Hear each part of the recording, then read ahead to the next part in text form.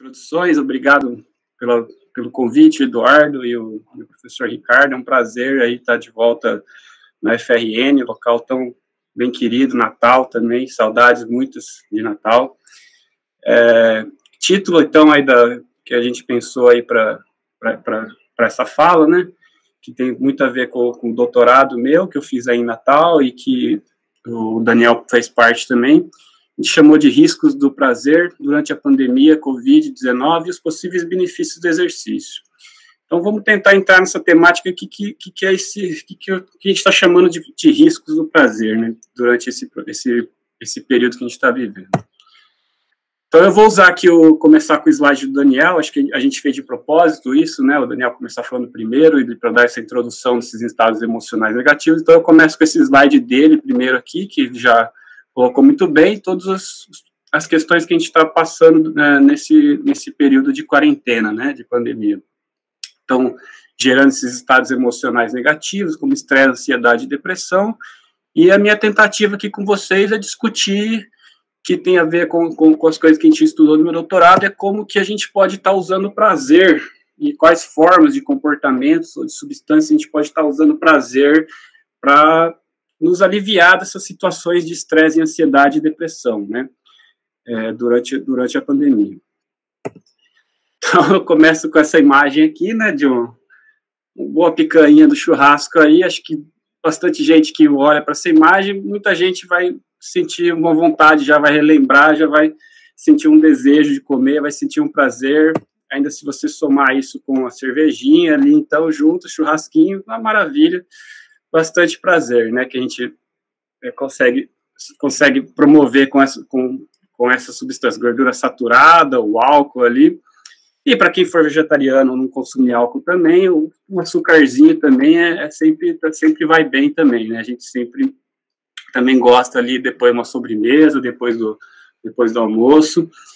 E ainda quem ainda não for muito feliz ainda com, não tiver muito ainda, não tivesse identificado ainda com isso, a gente tem a questão nova aí também que é a tecnologia, que é uma coisa que eu vou estar abordando aí para a gente também, e a gente cada vez mais está em passado tempos de tela aí, aumentando nosso tempo de tela, e essa é uma questão até meio um paradigma aí que eu vou tentar discutir com vocês um pouco na fala também, que é essa questão, a gente tem que ter mais essa, ter esse isolamento físico, né, por questão da pandemia, mas tem que ter interação social e nossa interação social é digital, mas então a gente tem que vai ser um, e ao mesmo tempo a gente é, tem que tomar um pouco cuidado com essa interação. Mas falando de prazer, então o filósofo de Irving Bento já no século 17, 18 ali já dizia criou aí a teoria hedônica, né, que a gente discute bastante em exercício físico para aderência, aí o Epictetus já traz bastante essa, essa discussão, que o ser humano tem dois mestres que regem o nosso comportamento, dor e prazer. No caso, a gente evita o prazer, a gente evita a dor e busca o prazer, né? Então, é, essa, essa, esse, o, o, Jeremy Bentham propunha que, que essas, esses dois mecanismos guiavam o nosso comportamento. Mas por que, que a gente sente prazer, então? Por que, que a gente sente prazer com esse tipo de, de, de substâncias ou tipos de comportamentos, né? Então, a gente tem um sistema no cérebro aí que chama sistema de recompensa, o sistema do prazer, o sistema dopaminérgico, dopaminérgico porque está relacionado com a produção, do, produção e liberação da, da dopamina, o neurotransmissor dopamina, que começa aí, essa, a produção da dopamina, ela, ela é produzida nessa área chamada tegmentar ventral, que os núcleos, os neurônios, os núcleos dos neurônios dopaminérgicos estão nessa área subcortical, aqui no, no tronco encefálico, e ela projeta axônios para o córtex pré-frontal, córtex frontal, para áreas do estriado, para áreas da substância negra, para o núcleo accumbens, que aqui também não está. Então, toda vez que a gente tem essa, até, até imagens também, promove essa liberação de dopamina nessa área que ativa o sistema de recompensa. Por que a gente tem esse sistema de recompensa? Em uma perspectiva evolutiva, esse sistema se desenvolveu, foi preservado através de milhões de anos de seleção natural, esse sistema foi preservado para favorecer comportamentos que fossem que favoreciam a nossa sobrevivência, como alimentação, alimentação. Então, por que, que é gostoso comer aquela, aquela, aquela picanha com aquela gordura saturada? A gordura saturada é muito energética, não é à toa que é difícil perder peso, é difícil oxidar uma gordura saturada lá. Então, ela é muito energética. Por que, que evolutivamente isso fazia sentido? Por que, que dá prazer? Porque, meu, naquela, na época de caçador-coletor, que foi onde nosso corpo se desenvolveu, a gente ficou milhões de anos ali naquela, naquele período correndo atrás de comida, indo atrás de é, se deslocando, fazendo atividade física, a, a, a, comida não era uma coisa fácil de ter acesso. Então, uma, uma, uma fonte de energia, a gordura saturada que está na picanha ali, ou no açúcar, que é uma fonte rápida, são, são coisas que o cérebro falou, meu, come mais disso, porque isso é bom. Come mais disso, que você vai precisar disso, que não é sempre que a gente está comendo. Então, não é à toa que é bom. É, atividade física, então, também é ativa, demora um pouco mais, aí entra naquela discussão de esforço, é, quantidade de esforço que a gente precisa fazer. Então, comer uma gordura saturada é baixo esforço e alta recompensa. Não, tem muito esforço. Tem esforço ali de preparar o churrasco, tudo, mas, é, mas a recompensa é muito alta, você só está comendo ali, a recompensa já é imediata. A atividade física, ela dá recompensa também, mas é um processo que já precisa de mais esforço. A gente sabe aí, quem trabalha com o personal, como é difícil você conseguir fazer aderência e como demora para vir os benefícios do exercício, ou como demora para as pessoas começarem a gostar de fazer atividade física.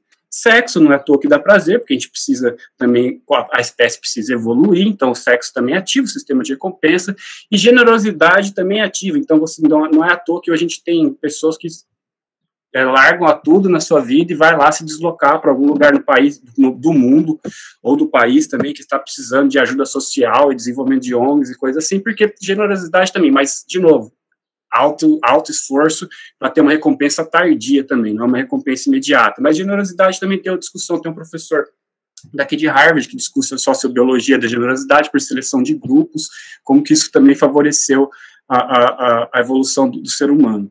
No entanto, o que, que aconteceu na sociedade atual, moderna de hoje? A gente tem outros outros comportamentos ou outros tipos de substâncias que também ativam o sistema de recompensa. Então, a, a, gordura saturada, o alimento alto índice glicêmico, os fast foods no geral, as drogas, substâncias ilícitas, a tecnologia, o jogo também, também tem aquela, aquela questão da expectativa de ganhar ou não ganhar, isso já está liberando dopamina, já está criando aquela coisa de sistema de recompensa. Compras, inclusive, compulsão por compras, também está relacionado com a atividade. Então, o que acontece, na verdade, é que a gente tem esse mismatch, que eles chamam, né, ou incompatibilidade de como que nosso corpo evoluiu, como que ele foi sendo moldado através da seleção natural em milhões de anos durante o processo de caçadores-coletores e como está nesse mismatch com a sociedade atual, a sociedade moderna atual.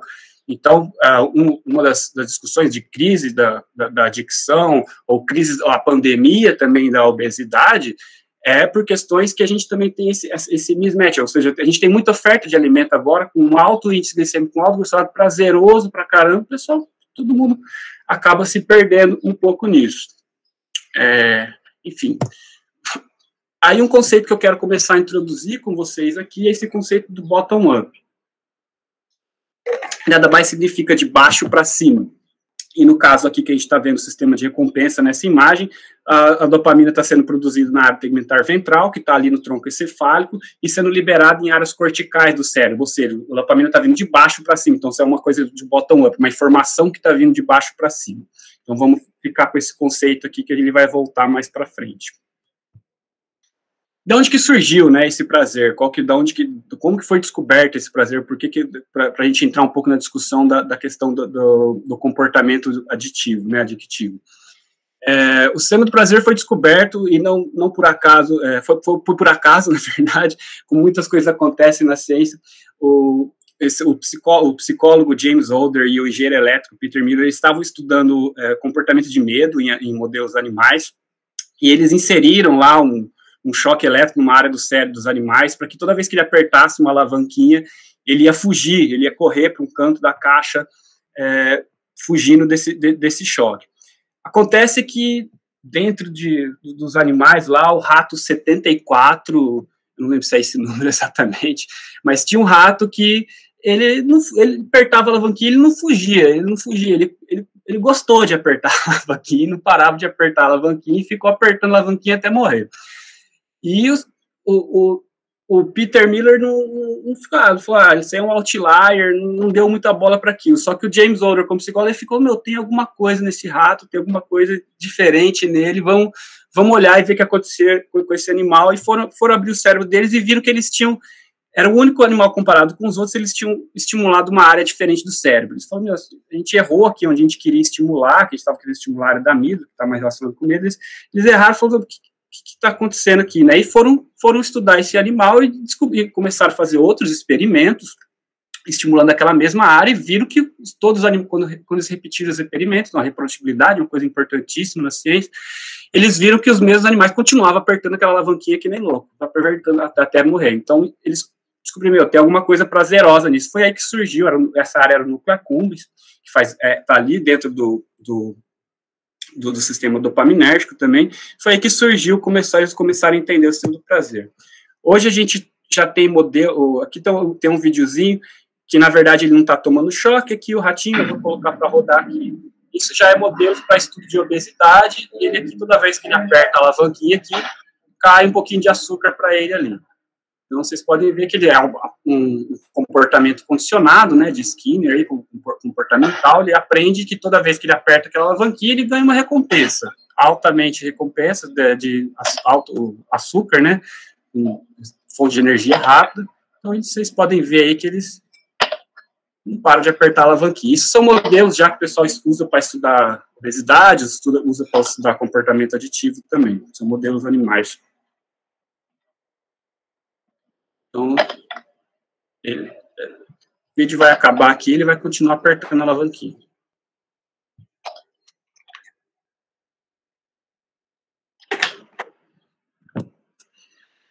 Isso, na verdade, então, deu, que uma das coisas que a gente estudou no meu doutorado, isso deu origem aí é, vou pular bastante história aqui, mas isso deu origem ao desenvolvimento da dicção do modelo do Brain Disease Model, que chama que hoje o National Institute of Drug Abuse, ou do NIH, que é o principal órgão de fomento em, em pesquisa em área da saúde, o, o, NIDA, que é o National Institute of Drug Abuse, que é liderado pela Nora Volko, tem esse modelo do Brain Disease Model, que então que a adicção estaria relacionada, então, com alterações neuroplásticas nos cérebros, então o cérebro, que eles chamam o cérebro um problema de, de, doença, né, que o cérebro, então, essas alterações geram um modelo de, de, do Brain Disease Model, e aqui eu vou trazer um, um, um dos exemplos aqui dos estudos da Nora Volko, que é uma das coisas que baseou bastante também as nossas hipóteses durante o processo de doutorado, que é essa, esse, esse as coisas que ela começou a encontrar, encontrou isso para dependência de crack, dependência de cocaína e dependência de álcool, que é essa menor atividade na área do córtex pré-frontal. Então, na figura, vocês estão vendo em cima aí o, o córtex pré-frontal, essa parte da região da nossa testa, e embaixo vocês estão vendo uma imagem de PET scan, que é um que é feito dentro da ressonância magnética, né, o PET scan é uma imagem que você bota uma, uma glicose marcada lá e eles, você consegue avaliar é, o consumo dessa glicose e indiretamente avaliar o, o metabolismo da, da, atividade cerebral, o metabolismo, consumo dessa glicose. Então, o que elas estavam vendo que em situações de repouso, indivíduos classificados aí com dependência química tinham uma menor atividade na área, de, na área frontal. Então, do lado esquerdo, que está mais amarelo, um amarelo mais forte, é um indivíduo controle, e do lado direito é um indivíduo com, com dependência química. Então, vocês podem ver que ele tem uma menor atividade nessa área do córtex pré-frontal.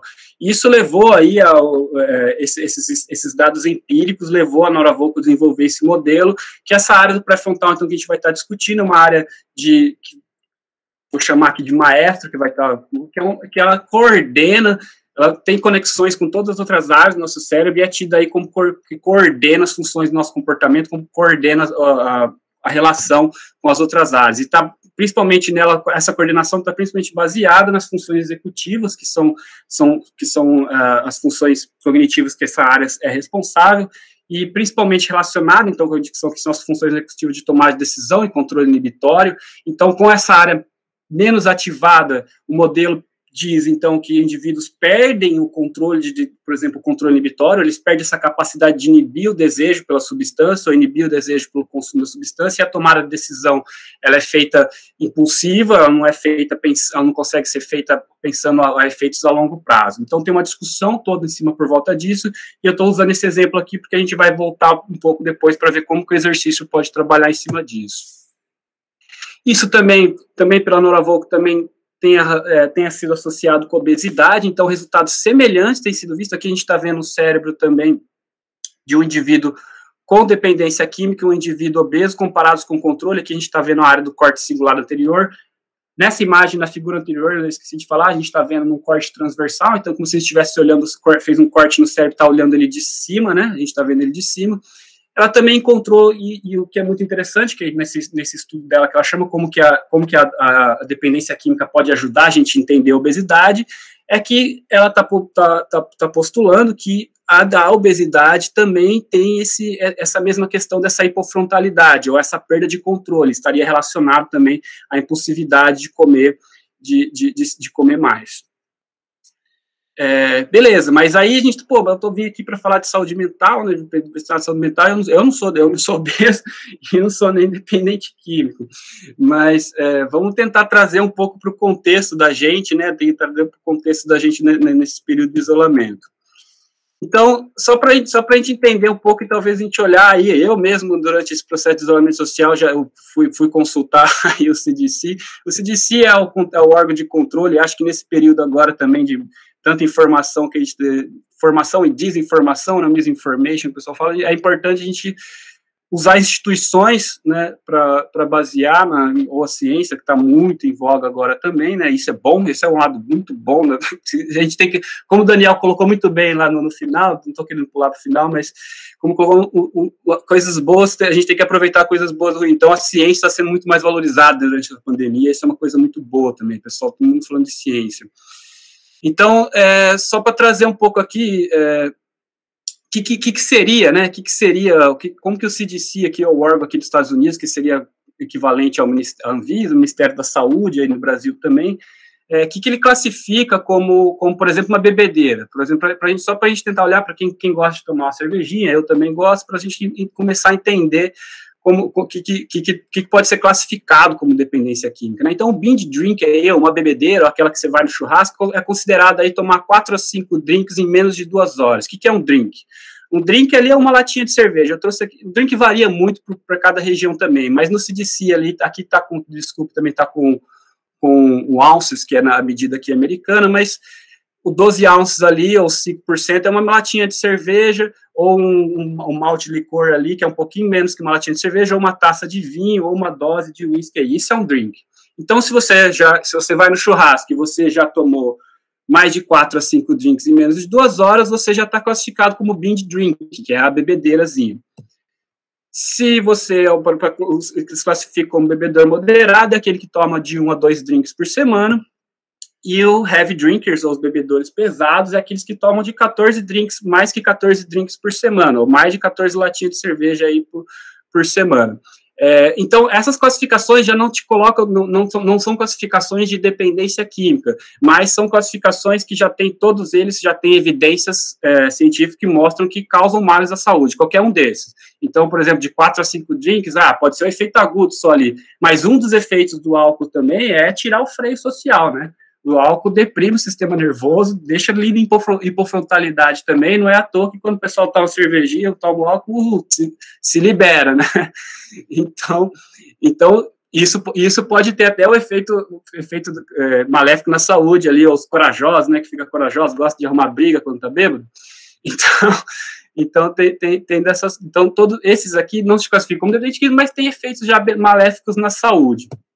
Para classificar como dependência química, tem aqui o pai dos burros, que chama, né, a Bíblia do, do diagnóstico de transtornos mentais, que é o DSM-5, que ele é lançado aí, ele demora um pouco para lançar, mas é tido como a grande referência para classificação de dependência química e transtornos mentais no gerais, né? E uma das coisas que você que precisa estar tá avaliando para ser classificado como dependência química é você ter alguns tipos de comportamentos. Então, ele tem 12 critérios lá que ele classifica que você vai ser classificado como leve, moderado ou pesado. Mas uma das coisas, que, um dos critérios relacionado com o alcoolismo, então, é, por exemplo, você tem que estar tá dentro desse contexto, se para ser classificado, por exemplo, como independente químico, você tem que ser um heavy drinker tá, e estar tá classificado por um ou dois desses tipos de comportamentos. Então, você não tem capacidade de parar de beber, você não consegue mais, você precisa beber todo dia. Você quer parar, mas você não consegue.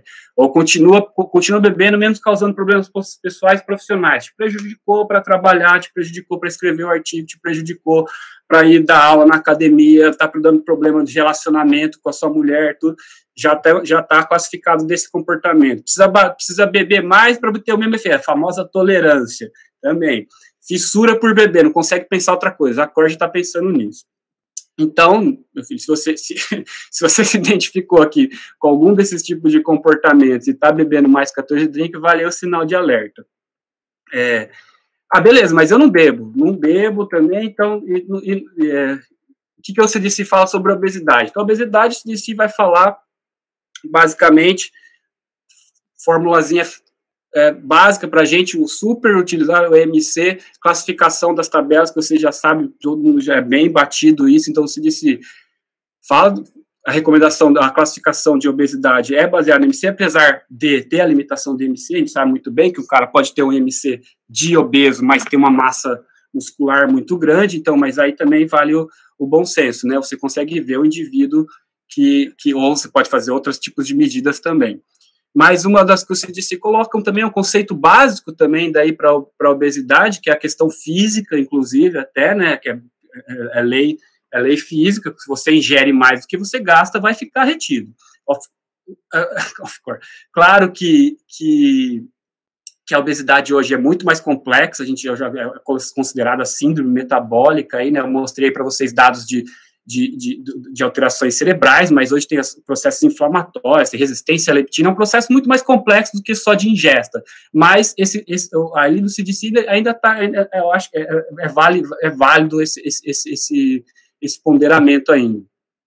Pandemia, não é também, então é uma pandemia que já está faz tempo, já, já assolando, está relacionado também com esse mismatch, não é só questão do sistema de o mismatch lá evolucionário que eu estava falando no começo do sistema de recompensa, não é só uma questão também de, de, de, de, prazer também, mas é uma questão também de, de hipocinética, de não estar tá se movimentando mais. A gente não foi feito para ficar parado e ter tanta disponibilidade de comida. A gente não foi feito, não, não, não evoluiu para isso. Então, isso é uma das, uma das, grandes, grandes justificativas também da, da por que, que é uma pandemia atual.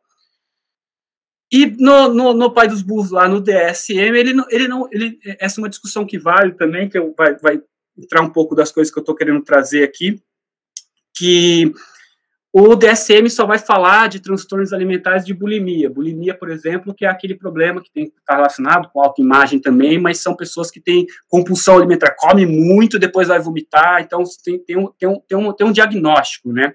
E aí existe uma discussão na literatura sobre o construto do food addiction, né? Então existem papers, já existem gente, existem questionários para diagnosticar você com food addiction, existe essa discussão, mas ele não está incluso ainda no DSM-5. Então, na verdade, o único comportamento que não está relacionado com o consumo de substância, está incluso no DSM é jogo. É o único que está aqui, o DSM, na verdade, foi uma grande foi uma grande conquista incluir o jogo já no DSM, porque existe uma, uma linha, um pessoal que defende que comportamento ele é aditivo também, não está relacionado só ao consumo da substância. Mas existe uma discussão em cima disso também. O pessoal que defende que food addiction não é, por exemplo, como é que você faz abstinência se você é dependente de como você faz abstinência e vai parar de comer? Não dá, né?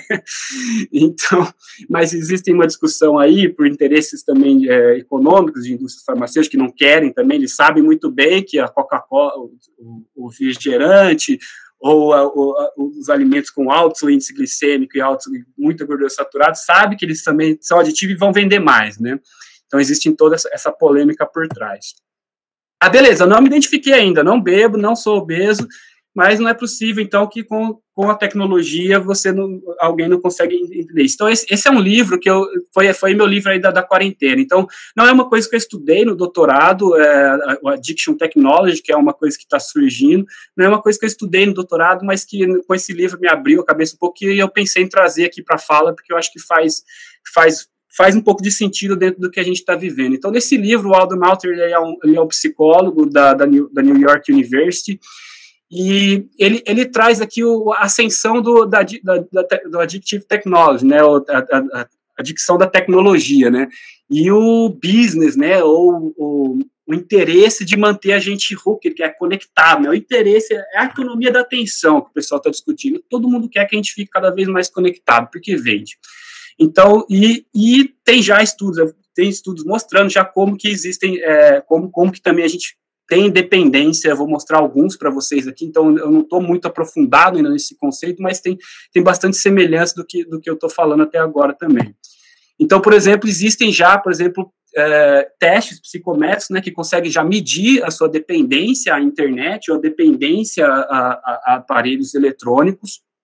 E um exemplo só que eu vou trazer aqui para vocês é, de, de, disso relacionado com alteração cerebral, é nesse estudo aqui, ele publicado na Frontiers, na Psychiatry, é, eles mostraram aí que é, alterações estruturais estão associadas com Internet Addiction em adolescentes é, jogador, jogador online gameplay, jogadores de videogame, né? Então, quem curte um videogame, eu gosto também, fica aí a, a atenção. E eles usaram aquele questionário, que eu, que eu, esse questionário que eu, que eu mencionei aqui no slide anterior, eles usaram esse questionário e fizeram imagem de ressonância, ressonância magnética. O que, que eles acharam? Eles acharam uma correlação negativa com áreas entre, entre uh, o gray matter, né, ou, a, ou o volume de, da, da, área da substância cinzenta, substâncias cinzentas são os corpos celulares dos neurônios no cérebro, então eles acharam uma correlação negativa entre o volume do gray matter com o, o, o, o questionário de, de, de addiction da internet. O é, que, que, que, quer dizer isso? Que quanto mais você for classificado naquele questionário como dependente à internet, menor o volume de áreas de substâncias cinzentas no seu cérebro, ou seja, menor, menor núcleos de neurônios, ou seja, menor processamento cerebral, né? Então, que e eles encontraram, apesar de aqui nessas imagens ter áreas somatosensoriais, também algumas áreas posteriores, eu grifei aqui, eles encontraram também essa menor concentração de núcleos de, dos núcleos neuronais em áreas do córtex cingulado e áreas do, do, do giro frontal que bate um pouco, que bate com essa, com essa discussão que eu estou trazendo com vocês da, da adicção também. Então, é, tem mais coisa por aí, eu tô, eu tô, tô só pincelando aqui, tô scratch, scratching é, tô só, tô só é, rabiscando aqui a ponta do iceberg, só que tem mais coisa ainda por trás ainda do, do Addiction Technology também. É, mas vamos voltar, vamos tentar, tentar fugir tanto do contexto, vou voltar aqui para o slide de novo, da, do, do, do, Daniel lá que começou, que é, é essa questão que a gente está tentando, que eu estou tentando trazer para vocês, é como o risco, o perigo da gente, então, usar o prazer para fugir desses estados emocionais. O Daniel mostrou muito bem como que já o isolamento já está relacionado com o medo de tudo isso e como que então cada vez mais você está você tá lá fechado no, no, no, seu ambiente, como que pode ser fácil então a gente cair, cair nesses, nesses comportamentos aditivos. Então, falar do estresse especificamente, o Daniel é, falou e essa questão do, do vou falar do, do isolamento social e do distanciamento físico. Daniel mostrou o estudo que a gente fez lá, da, da mão no gelo, né? Quem, quem tiver curiosidade, quando tiver no próximo churrasco lá e tiver com a cerveja, tiver o cooler lá, experimenta botar a mãozinha e ver, e ver se não vai ser um fator estressante. Então, modula mesmo o sistema nervoso simpático, o negócio é, é, é forte. Mas por que eu quero falar de estresse? Então, o estresse já tem, já está já tá bem, bem evidenciado também como que, como que o estresse mexe nesse, nessa questão do pré-frontal. Então, vamos, vamos entrar, voltar naquele conceito, começar a discutir de novo o top-down e o bottom-up. Então, aqui tem uma imagem aí do córtex pré-frontal e alguma das funções dele aí. Então, essas setas todas dele, se, imagina, se a gente estivesse imaginando como se fosse é, axônios, né, projetando para diferentes áreas do cérebro, aí está mostrando o estriato, o hipotálamo e principalmente a amígdala aqui, então, então as outras áreas do, do, do pré-frontal, que é o dorso, o dorso lateral, o, o ventromedial, que são áreas aí que regulam emoção, área que, ou áreas que estão aí relacionadas com, com o nosso freio, né, ele, o pré-frontal a gente tem que colocar isso, ele é o nosso maestro, ele é que controla o nosso, nosso comportamento. Então, quando quando o pré-frontal está sob situação de não estresse, ele está bem ali, ó, regulando todas as outras áreas cerebrais. Aqui embaixo a gente está vendo aqui os mesmos núcleos do, do, núcleos do tronco encefálico que a gente estava vendo lá, os núcleos da base, com resposta aqui de neurotransmissor de dopamina e de adrenalina, estão tentando botar a setinha aqui para cima, mas o pré-frontal está aqui, está com o freio, está segurando isso numa situação de não estresse. O que, que acontece quando a gente está numa situação de estresse? Ah, desculpa, isso então é, que a gente está agora introduzindo top-down, a gente já falou um pouco do bottom-up, isso então é de, de cima para baixo, então como se o pré-frontal tivesse aqui de cima, regulando essa informação que está tentando vir de baixo aqui, mas o, o pré-frontal fala, não, eu estou controlando isso aqui, eu estou segurando, estou monitorando essa, essa informação. Mas o que, que acontece, então, durante a situação de estresse? A amígdala, principalmente, a gente perde essa, essa, essa atividade do pré-frontal, chama loss of regulation, perde essa regulação do pré-frontal, e a amígdala aqui, que também tem muito investigado já estudos mostrando como ela está relacionada com medo também, a amígdala começa a mandar aqui informação, a gente come, os núcleos aqui da base então, ficam liberados, então essa informação começa uma conta do cérebro, essa informação que vem de baixo para cima, ou bottom up. Então, o que, que acontece durante a situação de estresse? A gente fica com essa menor regulação. Então, esse, essa, é o ponto que a gente está tentando trazer aqui com essa questão do risco do, do prazer durante a pandemia, que, que nessa situação de estresse da gente, quem toma decisão boa sobre situação de estresse? É difícil, né? É difícil. Acho que a única decisão boa que a gente toma situação de estresse é o que evolucionariamente deu para a gente, que é correr, por exemplo. Quer adrenalina, cortisol tá alto ali, foge. Mas tomar decisão racional, racional é muito difícil. A gente, você escuta bastante, não é a nossa área de psicologia, psicólogo, mas escuta bastante isso do psicólogo, né? Quando tomar sua decisão, pensa, sleep on that, que o pessoal no inglês, os ingleses, o pessoal aqui fala isso. Dorme, dorme sobre isso. Pensa, pensa um pouco sobre isso, não toma decisão impulsiva ainda, porque sob estresse, o que acontece? A gente não tem essa regulação do pré-frontal. E tem aqui o bottom-up, as informações, a amígdala mandando informação para cima. Então, gente, se você não se identificou com nenhum conceito ali, não tem problema com obesidade, não tem problema com dependência, o estresse vale para todo mundo. Essa, isso aqui, isso aqui tá, já, já tem bastante evidência de como o estresse deprime essa função do pré-frontal, que vai estar tá relacionado com aquela mesma coisa que eu estava mostrando para vocês da dependência lá como que deprime a função do pré-frontal. Então, o estresse deprime a, a função do, do pré-frontal, faz a gente perder controle. E como a gente viu lá no sistema de dopamina lá, dopamina vem de baixo para cima. Então, quando a gente vê a comida, ou vê, ou, ou come aquele negócio, essa informação vem de baixo para cima, em situação de estresse que a gente está no isolamento social, não tem controle. Meu Deus do céu, é a fórmula. É a fórmula. Então, vamos voltar para o ratinho lá, na, do, do, do, da, como, como eles descobriram o sistema de recompensa. Que eu quero trazer outro conceito para vocês, que não é apenas essa questão das alterações cerebrais. Então, tem uma história que começou com Bruce Alexander, e aqui eu vou depois eu vou, vou colocar o link aqui para vocês, vale a pena quem quiser colocar os quadrinhos. O Brooks Alexander é um cientista na década de 60 lá que ele ficou intrigado com essa questão do sistema de recompensa. O que, aconteceu com o sistema de recompensa? Antigamente as pessoas pensavam que dependência química era uma questão de, de problema individual, uma questão genética que a pessoa herdava. Aí quando vê o sistema de recompensa, o cara fala, pô, não, existe, todo mundo tem esse, esse sistema de recompensa e todo mundo está suscetível a causar adicção. Ou vê até aquela coisa, perigo das drogas, não sei o quê. Você usa uma substância só para dependência. Aqui nos Estados Unidos tinha aquelas propagandas da década de 60 que a gente, a pessoa usava uma vez já pirava totalmente. Então eles tinham esse conceito, meu, aí ele falava assim, meu, é um problema. Mas aí o que, que o, o Bruce Alexander pensou? Ele falou, meu, ele, ele, ele pegou esse, olhou para esse, esse, esse, paradigma do, do ratinho lá no, um, um choquinho na cabeça na área do sistema de recompensa e pensou, imaginou ele dentro de uma caixa. Ele imaginou ele dentro de uma caixa e falou: Meu, se eu tivesse dentro de uma caixa, eu não estou fazendo nada, tem um negócio que eu aperto alavanca e me dá choque, eu também ia ficar apertando. eu também ia ficar apertando que nem doido, porque não tem nada para fazer, não tem outra coisa. O que, que ele fez? Aí são as sacadas do, do, do, do cientista. O que ele fez? Falou: ele elaborou o Rat Park. Então, a Red Park, eu estou usando as imagens, eu coloquei o link abaixo aqui, o Stuart Millen fez um, um comic aí, um, muito bom de quadrinhos, que explica bem melhor do que eu vou falar aqui para vocês o que, que é esse experimento. Mas, basicamente, o que, que ele fez? Ele falou, meu, eu vou criar um, um, uma, uma, ratolândia onde os ratinhos vão poder brincar, vão ter interação social, eles vão poder interagir com outros, vão ter várias atividades para ele fazer. Vou dar morfina para eles e vou comparar com os outros ratinhos que estão tomando morfina. Tinha morfina, eles colocaram no, no, bebedor de água deles lá, e vou comparar com os outros ratinhos que vão estar isolados lá no, no, na, na, na, na, na, jaula, né? Só ele sozinho. O que, que ele viu? Os ratinhos que estavam na Ratolândia eram muito mais felizes. Eles podiam fazer sexo, né? Eles podiam brincar, eles podiam pular para lá e para cá. Tinha interação social. Eles tinham interação social. Então eles consumiram muito menos morfina comparado com os ratinhos que estavam sozinhos lá, isolados. Que só tem aquilo aqui que dá prazer, recompensa, o sistema de recompensa ficou ativo.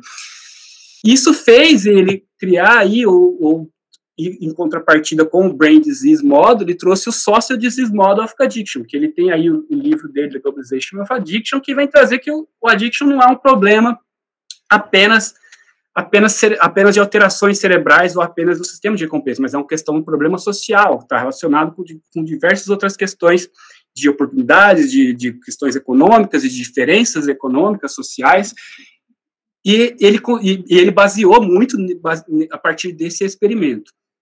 Então, por que, que eu estou trazendo isso? Não só para mostrar que o addiction também não é só um problema biológico, que é um problema biológico também, tá? já tem muita evidência, mas é um problema social também, um conjunto do, do, dos dois. Mas então, o que eu quero trazer para vocês é, como é que a gente, então, se a gente imaginar a gente, bom, se a gente pegar esse experimento e colocar a gente, que a gente também foi colocado em isolamento, a gente foi tirado da Ratolândia, vamos dizer assim, a gente foi colocado em isolamento, então é por isso que a gente está chamando isso de riscos do prazer, porque já tem evidência mostrando que o isolamento, tem lá, o Daniel mostrou como o isolamento está relacionado com estados emocionais negativos, mas como agora que a gente tá, quer discutir como o isolamento pode ter esse risco do prazer. Então, como muito também tem, tá, muito está surgindo, tem muita coisa acontecendo nessa, nessa pandemia, está difícil de fazer, está né, é, tá muito recente tudo, né? É, os estudos também são recentes, né? Então, que, que a gente procurando também sobre um pouco de consumo de substâncias, tem poucas coisas discutindo ainda, mas aqui estudo de, é, feito na, na, durante a pandemia do, do Covid na China, é, self-report survey, né, questionário, obviamente é, não, não tem como recrutar sujeito, é um problema que a gente também parou aí com a pesquisa também de recrutar sujeito. É, mas nesse self-report aqui, o que, que eles mostraram? Aumento do consumo de substância e aumento de adictivo internet durante a pandemia lá numa, numa região da China. Vendo então um aumento de 46% na dependência da China comparado com o mesmo período, isso que é importante, eles compararam com o mesmo período do ano anterior e viram que aumentou então a dependência. Aqueles mesmos questionários que eu mostrei para vocês lá, eles aplicaram e viram que aumentou aí a dependência de, de tecnologia no período do Covid. Então, mostrando aí talvez esse risco, de novo, relacionado aí com, com com a, com a tecnologia. Qual que é o risco da tecnologia? Como mostrei para vocês no estudo anterior lá, estava relacionado com menor concentração de substância cinzenta no cérebro, maior dependência à tecnologia, né? Nesse outro estudo aqui, ele mostrou aí esse, ó, tá até pré-print nesse daqui, de tão recente que é, saindo do forno.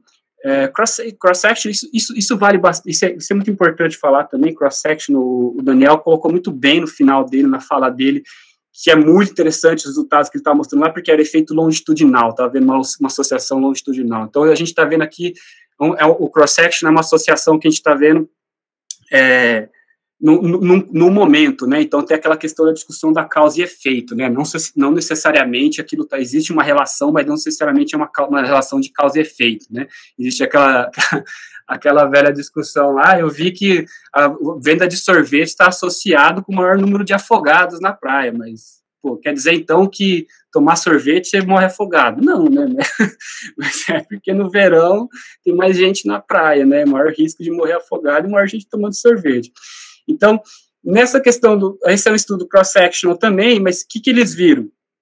Eles viram que maior tempo de tela, ou maior tempo que você está, estava associado com pior qualidade de saúde mental, mensurado pelo questionário de Beck, um questionário de depressão, que é um questionário muito usado, inclusive validado para portugueses, mas essa é, uma, essa é uma questão importante que eu não, não, não, não coloquei, era uma coisa que eu estava com dificuldade se eu trazia para a apresentação ou não, que era mostrar o questionário da Internet Addiction, mas não tem validade, não tem, não, não tem validade para o português, então eu não queriam saber se eu colocava em inglês ou se eu traduzia, e se eu só traduzisse não ia ficar bom. Então, validar questionários é muito importante. Então, quem está o BEC, por exemplo, tem validado para português, já é uma coisa muito importante. Mas então aqui mostrando de novo que aí pode ser, né, relação aí causa e efeito não necessariamente, mas pode ser que aí quanto maior você gastar, maior tempo que você gaste no tempo de tela está relacionado com, com, pior depressão, tá, ou talvez as pessoas estão mais deprimidas estão buscando mais lá, né, a questão é a discussão do Facebook, dos likes lá também, né, mas, é, e, com, e com substância, né, e com substância química, então, tem, tem pouca coisa também saindo, mas esse aqui, inclusive, não é nenhum artigo publicado, mas é um relatório aí do, do Center for Social Research Methods, lá do, da Universidade da Austrália, que eles compararam, então, aí de self-report também, questionaram N grande aí, com sempre maior de 18 anos, né, porque consumo de álcool, comparar o período de maio de 2020 com maio de 2009, aqui durante a pandemia, como é que estava o consumo de álcool dos australianos. Qual que são os achados interessantes? Eu trouxe só os pontos, é um, é um reporte bem grande, mas que eu trouxe, só pincelei aqui os, os principais pontos. Aumento de consumo de álcool para homens e mulheres, sendo maior em mulheres e aquelas com filhos. Então, olha aí já uma situação que muita gente veio, isso, isso eu não tenho dados empíricos sobre isso, mas eu, eu, tenho qualitativo de muita gente que conversa como que as pessoas estão tendo dificuldade, né? A criança não vai para a escola, fica em casa, não sabe o que fazer com os filhos, então as mulheres com filhos foram que consumiram mais álcool. Então, o que, que acontece? Maior estresse, usando, usando a substância lá, o prazer, para fugir desse estresse, né? Homens, para homens, a perda de emprego ou menos horas de trabalho se associou fortemente com o aumento de consumo. Então, para o homem, perder o emprego ou trabalhar menos estava relacionado também, associado com o aumento de consumo de álcool. E para ambos os sexos, maior estresse esteve associado com o consumo. Então, aí mostrando aí essa hipótese que a gente está trabalhando do risco, do prazer durante a pandemia, pode também estar tá associado. Então, estresse, maior estresse, melhor regulação na hipofrontalidade, menor regulação do pré-frontal, aumentou o consumo, os caras foram fugir para o consumo de álcool lá. E só mais um desse, desse reporte que é interessante, que eu quis trazer esse gráfico aqui, que se a gente olhar aqui eu grifei aqui em vermelho, 18 a 24, 18 a 44 anos, vai. É a região aqui que onde houve maior, ou teve relatado maior percentual de aumento do consumo de álcool, tanto para homem quanto para mulher. Aqui está em, em cinza é, o homem e em preto as mulheres. Ambos aumentaram mais o consumo bem nessa faixa etária aqui. Por que, que eu coloquei isso aqui? Porque dos, até os 25, 30 anos, dependendo aí variabilidade individualógica de cada um, o córtex pré-frontal está maturando ainda, não está full, full developed, não está totalmente des desenvolvido ainda, né? Ele não está totalmente maduro. E o que, que isso significa? Significa que eu tenho menos controle, tenho menos freio. Então, olha só que interessante como o aumento do contato está bem nessa idade aqui. Inclusive, eles nem tocam nesse assunto no relatório. Eu coloquei, vou até mandar um e-mail para eles. Eles nem tocam nesse assunto, porque é um, é um resultado muito interessante que pode estar tá, pode tá associado com isso também. Enfim, e na obesidade, aqui um outro artigo aqui, Clinical of Obesity 2020, também junho, recente, acabou de sair, impacto do Covid no, nas, nas ordens de stay home, lockdown aí em pessoas com obesidade, comportamento. Então, N de 123 pacientes, a maioria mulheres, reportaram, a maioria reportou aumento de ansiedade e aumento de depressão, coisa que, tava, que o Daniel já mostrou bastante reportaram dificuldade de atividade, metas de perda de peso, apesar disso, acho que isso já é, é bem evidente. reportaram diminuição de fazer atividade física. Aí o Daniel já tocou nos como a gente deve fazer, mas tá, é difícil, né? É difícil fazer atividade física trancado dentro de casa. É muito, é, é, é um desafio, é um desafio enorme para a gente. Muita gente. É incrível a criatividade do profissional de educação física. A gente tem que colocar isso, deixar bem claro isso. Eu tenho visto de vídeos no YouTube sensacionais de como que as pessoas são criativas. Então, é, é, é outro, outro ponto positivo aí para a gente tirar também desse, desse, desse, desse momento. E aqui eu deixei, inclusive, em inglês, porque esse, esse resultado, para mim, foi increase of stockpiling, of food, o estoque de comida, aí teve um aumento de 49% de, de, de estoque, as pessoas estavam estocando comida e stress eating, então relacionado aí com a temática. Então, mais estresse estava tirando o estresse, aliviando o estresse na comida, estocando, estocando na comida. Então, só esse stockpiling para mim aí, que foi uma, o estoque de comida foi uma questão, e talvez, até coloquei a imagem aqui, porque talvez pode ter, não sei, fica aí para o estudo se está relacionado também a outra, outra, outra loucura da pandemia aí também, que, que, que aconteceu que as pessoas estavam estocando papel higiênico também. Talvez as pessoas estavam estocando mais comida e estavam estocando mais papel higiênico, né? Enfim. E existe a discussão, então a Nora Volkel está aí, existe, apesar de ter poucos dados empíricos ainda, a Nora Volkel nesse, nesse, nesse, nesse comente, né, num, num post de ideias, está discutindo como então essa questão do risco, do prazer, assim, como que os, as pessoas com com dependência química podem estar mais susceptíveis a, a, a ter recaídas ou, ou, ou, ou, principalmente também ter agravado, também principalmente aqueles que é, como, como o, o coronavírus também está relacionado com questões do sistema respiratório, né, pessoas que com dependência química que tem também já o sistema que usam drogas inalantes, né, tem também tá, tem esse maior risco também, mas ela está discutindo essa questão da neurobiológica também relacionada aí com o brain disease model também. E dentro da obesidade também existem, eu tive que colocar esse slide aqui do, desses, desses holandeses que colocaram aqui uma discussão muito polêmica aqui, mas é tipo discutindo a obesidade e o rolo do food industry, que era o que eu estava discutindo um pouco anterior lá na questão do DSM-5, por que, que o food addiction não é incluso no, como, como, como, como dependência né, no, no, no DSM-5. E aqui eles, esses holandeses estão indo até um pouco além, eles estão discutindo aqui que que uh, talvez o, o, uma das, um dos aprendizados aí do, da, da pandemia é que a gente deveria isolar também pessoas que fazem o comportamento aí, ou precisaria estar atento para o contágio desse um, hate, um health behavior, né, o comportamento de consumo. Isso, isso, você pensar para uma lógica tem muito sentido, porque da questão você vê, tem estudos já que mostram como você, como imagens já ativam o sistema de recompensa, ou principalmente para crianças, é, se você tem, se os pais comem, comem fazem uma, alimenta, faz uma má alimentação, a criança provavelmente vai ter. Então, ele está discutindo aqui para isolar os comportamentos, um de, de, de, de seja de, de consumo de, de, álcool, de cigarros ou de junk food, né, ou dos fast foods aí. Ele tá, então, até colocando essa, é, é, é, essa questão. Mas vamos lá para a gente finalizar aqui. Eu sei que eu falo bastante, pessoal. Tô, já tô, não sei nem como é que eu estou no tempo aqui, eu só estou olhando para minha tela. Mas é, qualquer coisa, eu, já, eu sei que o Eduardo já teria me interrompido. Mas vamos lá, como que o exercício pode ajudar, então, a gente? Como, como, como, que, a gente, como que a gente pode usar? Como que eu posso falar com o meu personal trainer, com o meu aluno na minha academia, ou, ou no, no, caso agora, não tenho contato ali físico, mas pelo, pelo, pelo, pelo Zoom, pelo Skype, seja, seja a ferramenta que estiver utilizando, como que eu posso usar esse conceito de, neuro, de neurobiologia, esse conceito da psicobiologia, né, do exercício, ou desse, dessa questão como que eu posso trazer as coisas que a gente trabalha, que é o que a gente trabalhou no meu doutorado também, como que eu posso usar isso para minha prática de atividade física, né? Então, que o exercício faz bem, todo mundo sabe, né? Aquela velha discussão, todo mundo sabe que o exercício faz bem, como o problema é como a gente faz para as pessoas fazerem exercício, né? Mas o exercício também está recente, aí, a partir da década de 90, está mostrando inúmeros benefícios no cérebro. Então, de modelo animal, estudos da Van Prague aí antigos já mostraram neurogênese. Então, tipo, neurogênese, era, era uma coisa até antigamente é, questionável se a gente tinha ou não neurogênese, né?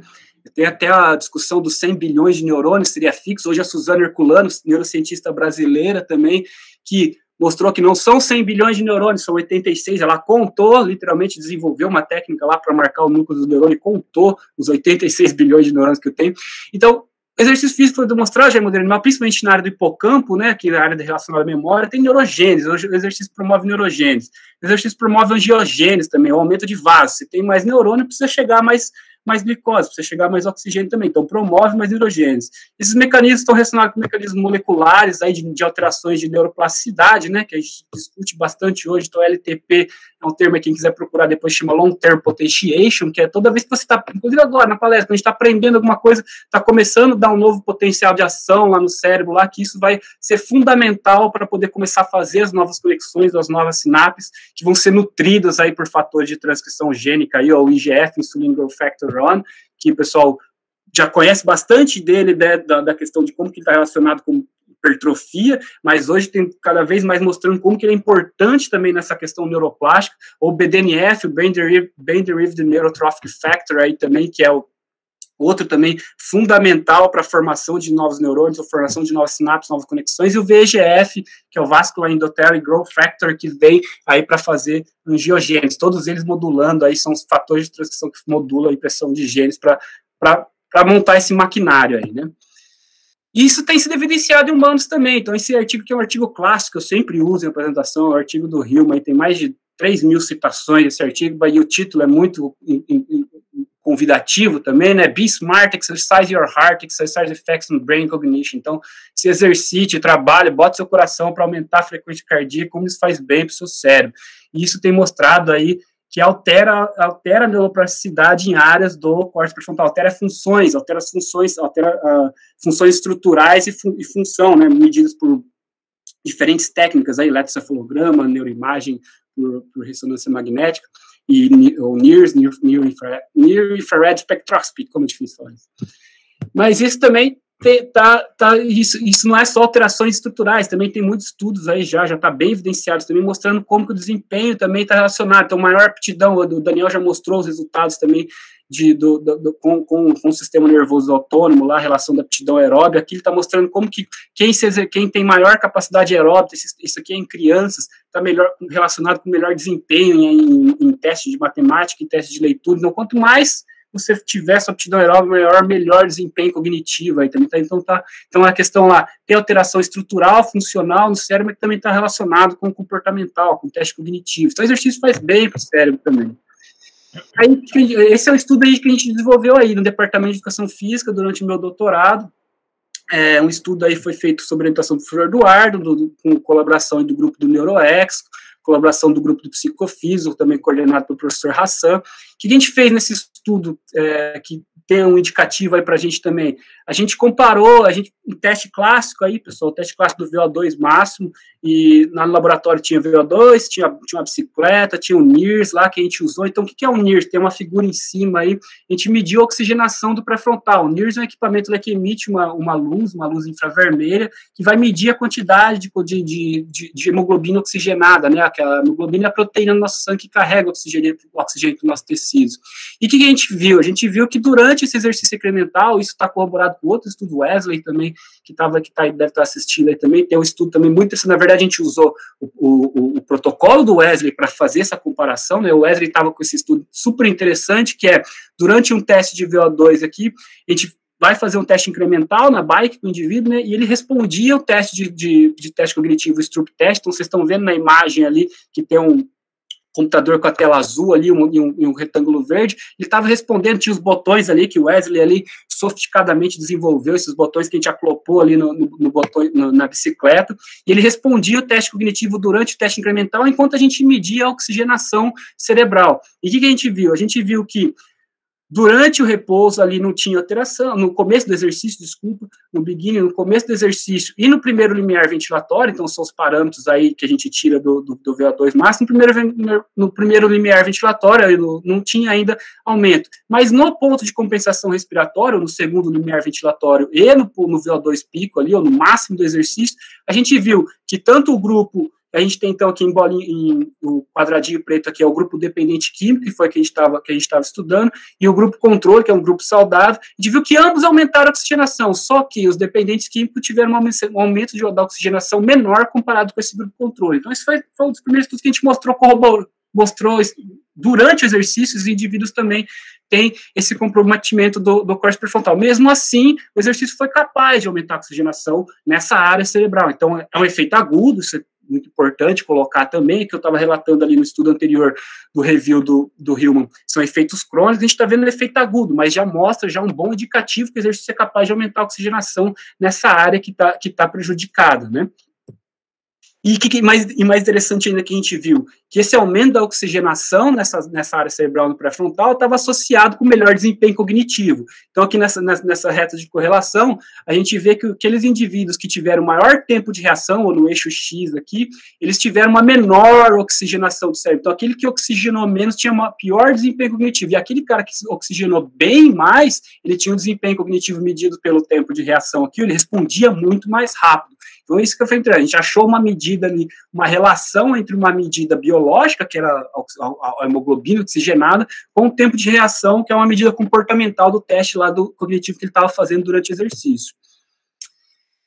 Aí, durante o doutorado também, que eu vou trazer agora um pouco isso, que a gente tá, vai tentar discutir como que pode, como que eu posso aplicar, então, esse, esses conceitos da neurobiologia para o meu, pro meu, pro meu aluno do, na prática da educação física. Então a gente fez essa mini revisão e colocou aqui como uma hipótese, era uma hipótese também que eu trabalhei durante o meu doutorado, mas a gente não conseguiu investigar o efeito crônico do exercício, então a gente publicou a hipótese e publicou uma revisão sobre o, o que tá, o que o que, o que, se, o que se tinha sobre o, como que o exercício pode estar tá afetando essa, uh, essas áreas cerebrais desse indivíduo, alterações neurobiológicas e alterações cognitivas, né? Então, a gente fez uma revisão mostrando efeitos agudos, efeitos crônicos, e a gente achou apenas efeitos, efeitos, efeitos agudos, a gente achou apenas seis estudos mostrando efeito agudo em medidas neurobiológicas e medidas cognitivas. Neurobiológico, eu estou falando, ou é NIRS, ou é EEG, ou é ressonância magnética, associado com o teste cognitivo. Apenas seis agudos mostrando, apenas seis estudos mostrando efeito agudo nessas medidas, e apenas quatro estudos mostrando, mostrando efeito crônico dessa medida, sendo dois casos de estudos, que é, é, os, é os, estudos do Daniel, da iniciação científica do Daniel, quando o Daniel chegou junto, participando de um doutorado, a gente publicou esses estudos, que são estudos de casa. Então, para estudo de casa naquela época tinha um grande apelo, porque, inclusive tem ainda, porque não porque a, a, a, falta estudos ainda mostrando como que o exercício pode promover alterações é, em marcadores neurobiológicos e marcadores cognitivos nesse tipo de população. E o que, que é a, a, história, então, do, do, desse rewiring, né, ou reconectando o, o cérebro do adicto através do, do modelo psicobiológico do exercício? que é a hipótese que a gente trabalhou, que o Daniel comentou que a gente estava lá, dessa oportunidade, até que a gente até foi oferecido para continuar lá o projeto lá no, no, hospital, que era que a gente trabalhava com os pacientes, que era que eu vim, vim, trabalhando desde a época de Campinas, também em São Paulo, que era essa ideia do modelo psicológico através da corrida e, e enfatizando essa questão do que está acontecendo durante o exercício, como que a gente está lidando, como que você está trabalhando com, com, com, com, o exercício. Então, a gente tem essa, essa, essa imagem que é bem ilustrativa do que, que a gente está discutindo, então está dentro desse conceito do top-down e do bottom-up, Vou de novo lembrar ali a questão do pré-frontal, então, que a gente, que a gente discutiu, pré-frontal sendo aí o regulador, e as informações aqui no caso durante o exercício, esse bottom-up, são, as, são, as, são as pistas fisiológicas, né? Então, que são informações de feedbacks né, aferentes, né, ao bottom-up, de baixo para cima, alterações no meu músculo, então depressão do glicogênio, aumento de pH, aumento da concentração de lactato, como que está meu metabolismo, como é que está trabalhando minha mitocôndria lá, como é que está minha resposta cardiovascular, minha frequência cardíaca, minha pressão arterial, aumento da temperatura, exercício aumento da temperatura porque energia lá, contraindo as contrações musculares, então tudo isso são informações que estão vindo para o meu cérebro, que, que geram esse, esse modelo de como que eu estou interagindo com o exercício, que está muito relacionado com o pace, né, ou principalmente em, em exercícios cíclicos, como está relacionado com o pace, e quando eu estou fazendo o top-down, eu estou pensando sobre essas informações, né? O Cognitive Funds. Então, eu estou pensando sobre essas informações e estou tomando a decisão de aumentar ou diminuir o pace, ou, o controle inibitório, falar, não, eu aguento essa fadiga aqui, está doendo, mas eu quero continuar mais, está chegando, está na linha de chegada já, ou self-talks que a gente tem um com o outro, ah, não consigo mais, vou desistir, não, lida com esse self-talks. É, a percepção de esforço, né? Então, todas essas informações do fisiológico, como está vindo, como que isso, o estado afetivo, como isso mudou o estado afetivo, né? Então, e, e tu, tudo isso é, é, um processo dinâmico acontecendo durante o exercício e isso está acontecendo independente do nosso, do nosso essa, essa, é a beleza do corpo humano também, né? Tudo isso acontece independente essa regulação se a gente pensar agora que ninguém está pensando no coração batendo, né? Aquela velha história, ninguém fica, bate coração, bate coração. Tudo isso acontece automático, é uma beleza, existe um sistema perfeito controlando a gente. Só que se a gente consegue também colocar a nossa intenção, a nossa participação disso, e essa é a discussão, é, para trazer isso, que a gente tentava trazer isso para a questão da dependência, se você consegue resistir a esse a essas informações e trabalhar isso, você está trabalhando o seu top-down, você está trabalhando o seu controle sobre esse bottom-up, sobre as aferências. E a gente imaginava, nossa proposta é que isso pode ser transposto para a questão. Então, o cara fazer exercício não é só fazer exercício para ficar bem, aptidão aeróbica, neuroplasticidade, mas é trabalhar cognitivamente sobre isso.